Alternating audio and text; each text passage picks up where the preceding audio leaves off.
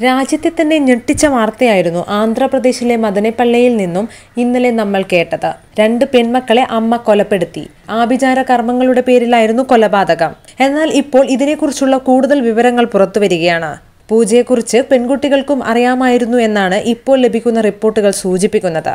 ഇൻസ്റ്റഗ്രാമിലും ഫേസ്ബുക്കിലും അടുത്തിടെയായി കൊല്ലപ്പെട്ട പെൺകുട്ടികളിൽ ഒരാൾ പങ്കുവച്ച പോസ്റ്റുകൾ ഏറെ ദുരൂഹതയുണ്ടാക്കുന്നതാണ്. സഹോദരിമാരുടെ പെരുമാറ്റത്തിൽ പലവിധ മാറ്റങ്ങളും ഉണ്ടായിരുന്നതായി സുഹൃത്തുക്കളും മൊഴി നൽകിയിട്ടുണ്ട്.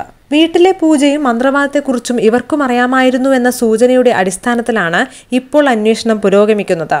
മദനപ്പള്ളിയിലെ പ്രശസ്ത വിദ്യാഭ്യാസ സ്ഥാപനം നടത്തുന്ന പത്മജ തന്റെ പെൺമക്കളായ അലേഖ്യ ദിവ്യ സായി എന്നിവരെ തൃശൂലം കൊണ്ട് കുത്തിയും ഡംബൽ കൊണ്ട് മർദ്ദിച്ചും കൊന്നുവെന്നാണ് കേസ്.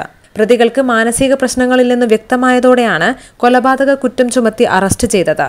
അതേസമയം കലിയുഗം അവസാനിക്കുന്നതോടെ ജീവൻ തിരികെ വരുമെന്ന വിശ്വാസത്തിൽ മക്കളെ കൊലപ്പെടുത്തിയതിനു ശേഷം ഇരുവരും ആത്മഹത്യ ചെയ്യാനും തീരുമാനിച്ചിരുന്നതായി പോലീസ് പറയുന്നു. കസ്റ്റഡിയിൽ എടുക്കുന്ന സമയത്ത് പരസ്പര ബന്ധമില്ലാതെ സംസാരിച്ചിരുന്ന ദമ്പതികളിൽ പുരുഷോത്തം നായിഡു സാധാരണ നില കൈവരിച്ചിട്ടുണ്ട്.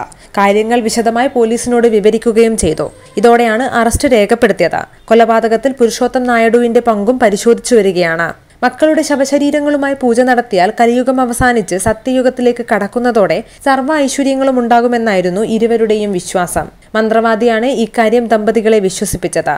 News desk top news Kerala.